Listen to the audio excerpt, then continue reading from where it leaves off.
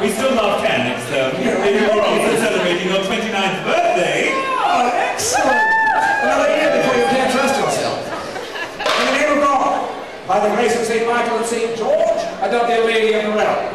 I granted the right to dispatch knights on missions of justice and mercy.